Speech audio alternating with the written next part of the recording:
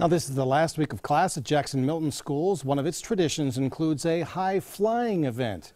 First News reporter Matt Jones explains why the students look to the sky. Before it can launch, students have to plan and build their rockets. It kind of came from an opportunity to apply the different concepts that they've learned throughout the year.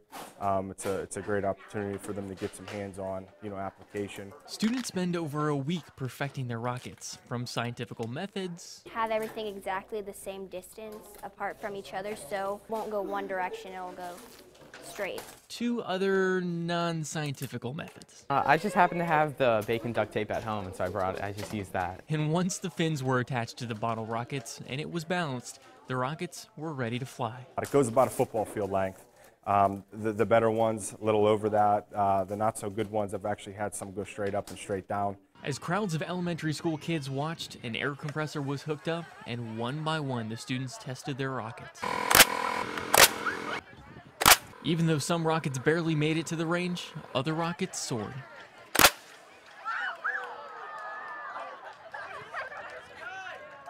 And the furthest rocket went 162 feet. In Milton Township, I'm Matt Jones for 27 First News.